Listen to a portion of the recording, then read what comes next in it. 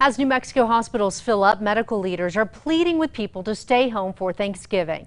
News 13's Francesca Washington is live at Presbyterian Hospital to explain the strain hospitals are facing. Hospital officials say they're seeing an unprecedented number of patients and they want people to buckle down this holiday to help control it. Find your humanity for the next few weeks. Bring this under control it's a very difficult time with the holidays approaching, wanting to be with families.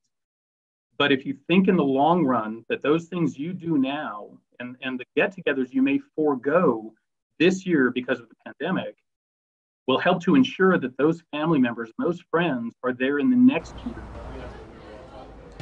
Hospital leaders say they're nearing the point of crisis standard of care, meaning they will have to max out all hospital space to care for COVID patients. Doctors say the best way to create capacity is to avoid gatherings this holiday. They warn if behaviors don't change, in three to four weeks they'll be out of ICU beds. Presbyterian officials did give some positive news. They say in the past week they saw a downward trend in positivity rates.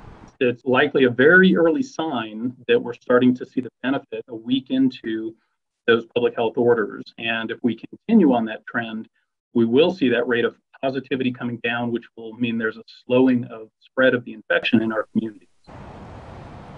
As of this morning, Presbyterian has 256 COVID-19 patients and 47 ICU patients. So far, they haven't had to transfer any patients to the Gibson facility. Back to you. All right. Thank you, Francesca. UNMH tells us they are also reconfiguring units to deal with the influx of COVID-19 patients.